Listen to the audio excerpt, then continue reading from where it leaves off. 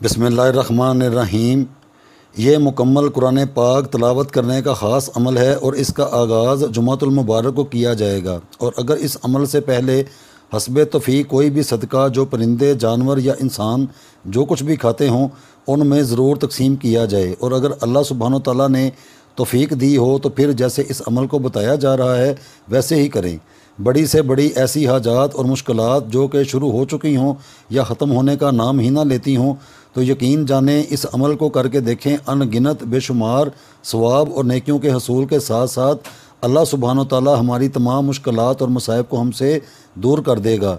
इन तलावत तो कुरान पाक की ही की जाएगी, लेकिन जो अफराद ये समझते हैं कि वो किसी ऐसी मुश्किल का शिकार हो चुके हैं, जिससे अब जान छूटती हुई नज़र नहीं आ रही तो वो सबसे पहले ताज़ा गुसल या वज़ू जो भी कर सकें, अपने लिबास पर अतर भी लगाएँ और जिस जगह इस अमल को करना है, वो नहायत ही पाक साफ़ होनी चाहिए।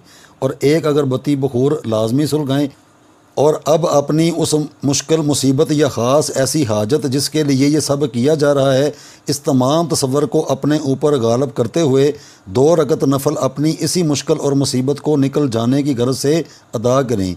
और अब ग्यारह मरतबा दरुद इब्राहिमी पढ़ कर कुरान पाक को खोलें और बरोज़ जुमतुलमुबारक बिस्मिल्लाह शरीफ के साथ मुकम्मल सूरा फातिहा से किरत करते हुए सूरा अलमायदा तक पढ़ लें। बस यहाँ तक अमल ख़त्म हो चुका है और कुरान पाक में उस जगह किसी सफ़ेद कागज़ या कुरान पाक में भी एक धागा होता है, उससे निशानी लगा लें। अब यहाँ अल्लाह सुबहान तला के हजूर खूब गिड़गड़ा कर रोते हुए दुआ मांगें और मुसल्ला वगैरह उठा दें। ये एक दिन का अमल ख़त्म हो चुका। अब अगले दिन बरोज़ हफ़्ता फिर ताज़ा गुसल या वज़ू करें, लबास पर शबू लगाएँ और उस जगह को भी शबू से मअतर करें। और अब बरोज़ हफ़्ता सूरा इनाम से सूरा तोबा तक पढ़ें। यहाँ फिर अपनी मुसीबत या परेशानी की अल्लाह के हजूर गिड़गड़ा कर दुआ मांगें और निशानी लगा कर रख लें। अब अगला दिन इतवार का आएगा, उसका आगाज़ भी जैसे बताया है वैसे ही करें और बरोज़ इतवार सूरा यूनस शरीफ से सूरा अलमरियम तक इसको पढ़ें। और अल्लाह के हजूर गिड़गड़ा कर दुआ मांगें और सूरा मरियम शरीफ पर निशानी लगा कर रख लें। अब बरोज़ पीर सूरा तहा से सूरा कसिस तक तलावत करें और निशानी लगा कर अब अगले दिन भी जैसे बताया है अपनी तैयारी करें। बरोज़ मंगल सूरा अनकबूत से सूरा असा तक तलावत करें, यहाँ निशानी लगा कर रख लें और अल्लाह के हजूर खूब गिड़गड़ा कर दुआ मांगें। अब रोज़ बुध सूरा ज़ुमर से लेकर सूरा रहमान शरीफ को विरद करें और निशानी लगा कर रख लें। अब फिर अगले दिन उसी ही तरीके से इस अमल की तैयारी शुरू करें और अब बरोज़ जुमेरात सूरा वाक़ से आहर कुरान तक तलावत करें।